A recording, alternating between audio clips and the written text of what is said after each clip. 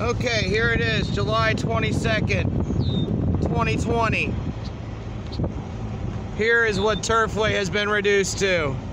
There's a big pile of dirt, big tent where they keep all their stuff. And past the tent, we'll get a view of what's not left. There's that O'Rourke machine right there.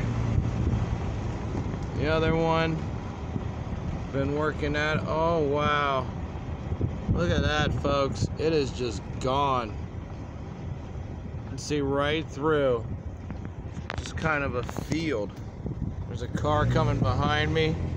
So we'll speed this up a little. For some reason, the paddock's still there. There is nothing. Yeah, even the offices are gone finally. Just concrete. Oh, they're even busting up this awful, awful parking lot. That thing was barely a parking lot anyway anymore. Let's drive in here.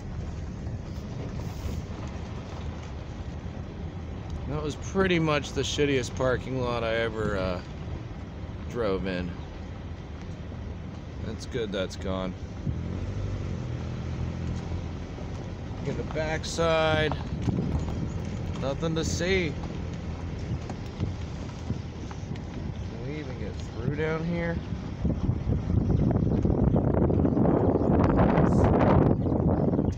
Come in here. Trying to get through this mess. This is what's left down here. Still get out? And we can.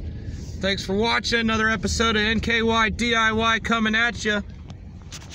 Stay tuned for more.